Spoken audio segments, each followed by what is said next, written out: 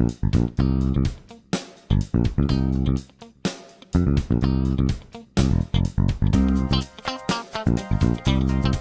faut donc entretenir en chantant de tout notre cœur. Et l'apôtre Paul dit au verset 20, rendez continuellement grâce. C'est quelque chose de continuel, tout le temps, sans cesse.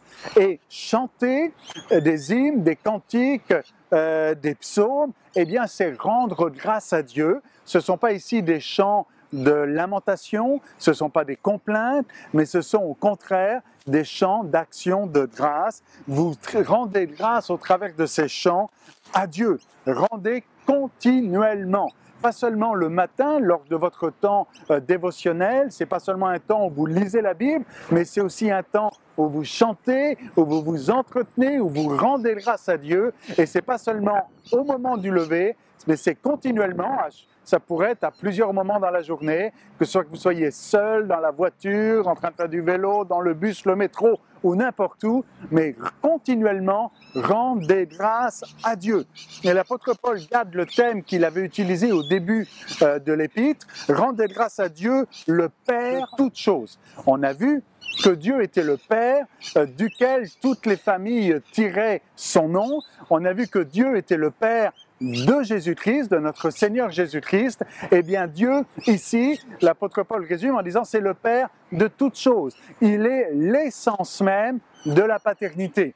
Il est le Père de toutes choses. Et comme un enfant qui reconnaît que son Père bien-aimé le favorise et le, lui donne ce dont il a besoin, sachons rendre grâce à Dieu le Père qui donne de bonnes choses à, aux enfants qui le lui demandent. Alors on rend grâce à Dieu le Père de toutes choses et Jésus est là aussi dans le tableau puisqu'il est dit au nom de notre Seigneur Jésus-Christ. On rend grâce à Dieu le Père et on rend grâce à Dieu au nom de Jésus-Christ.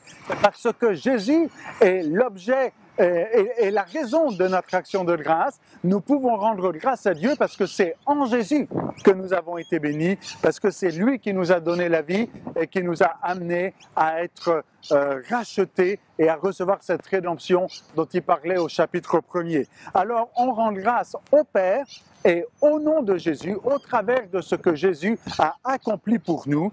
Et il est dit au verset 21, et là maintenant, il y a le Père, il y a le Fils, et au verset 21, il s'agit de l'Église, quand il dit, vous soumettant les uns aux autres dans la crainte de Christ.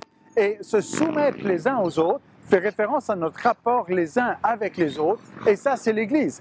Il n'y a pas de tension dans l'Église, mais il doit y avoir la paix, il n'y a pas de juifs et de grecs, on s'en souvient, mais on se soumet les uns les autres.